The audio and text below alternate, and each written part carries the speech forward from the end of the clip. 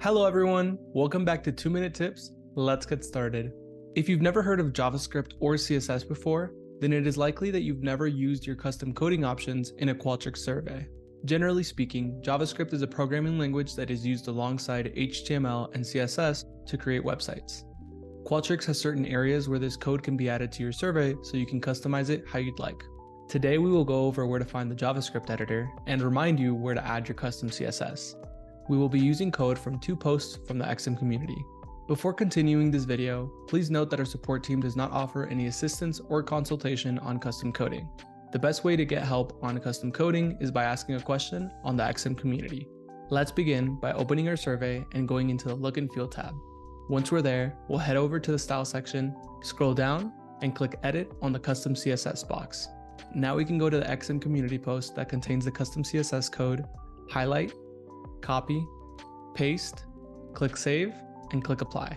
You will notice that nothing has changed in the look and feel preview, but if we go into our survey builder and click preview, we will see a beautiful gradient added to our survey background. Now let's go back to our survey builder and begin adding a new Flatpickr calendar question by creating a new text entry question. Once we've done that, to reach the JavaScript editor, we will select the question, scroll down to question behavior, and click the JavaScript button.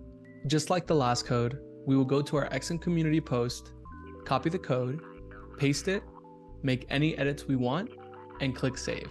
For this specific situation, we have to add the style sheet reference by going into the look and feel tab, going to the general section, and clicking edit on the header text box. Once we're there, click the source code icon, copy and paste the code, click save, and click apply.